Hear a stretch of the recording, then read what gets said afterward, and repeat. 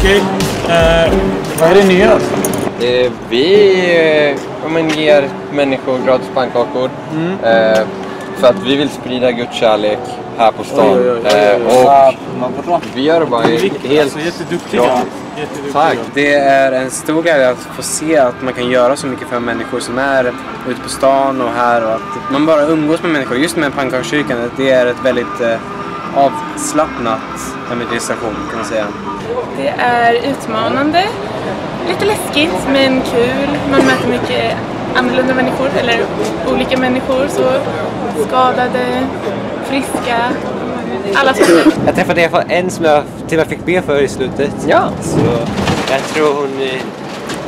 Hon sa att hon kände sig väldigt glad och liksom kände frid efteråt. Så det kändes riktigt gött. Men vi har gått ut på stan här och bett med folk och pratat med dem om Gud och så. Vad hände?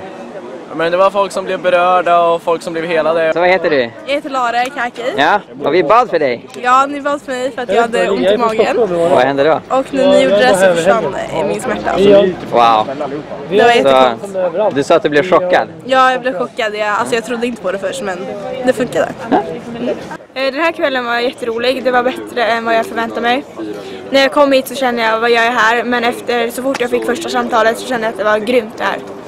Eh, jag fick möta en människa som kände att hon aldrig hade varit älskad och när jag sa att Gud älskade henne så kände hon hur varm hon blev i hela kroppen. Och hon sa verkligen att vart är närmsta kyrkan och det kändes helt fantastiskt.